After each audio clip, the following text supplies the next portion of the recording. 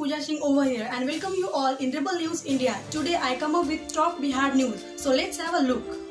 As COVID-19 continue wreaking havoc in the state, over 80% of private dental and maxillofacial surgery clinics have been closed.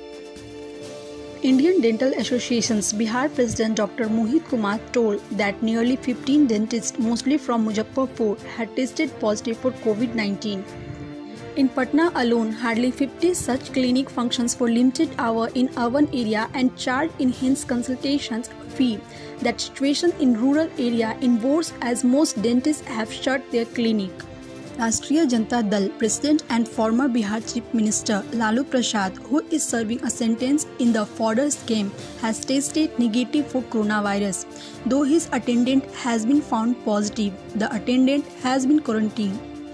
Heavy rain in Bihar and adjoining region this monsoons might have led to floods in several districts of North Bihar, but also brightened the prospectus of a good recharge of depleted groundwater reservoirs and bumper crop yield in South Bihar district. PM Narendra Modi on Sunday lauded the women self-help groups in Bihar for making masks depicting famous Madhubani painting and pearls farming in the state. The masks with Madhubani painting have gained popularity not only in Bihar but also in other states. A doctor from Munger was among the 17 COVID-19 patients who died in Bihar in the past 24 hours.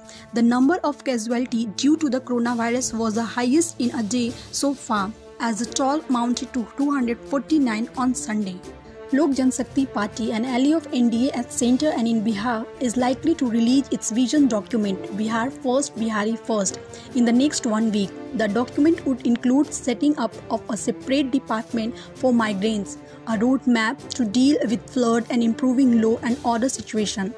The state cabinet on Saturday took a major decision to provide a job on compassionate grounds to a dependent of any state government employees who died on duty due to COVID-19. Thanks for watching Rebel News India. Stay tuned for more updates. Don't forget to like, share and subscribe.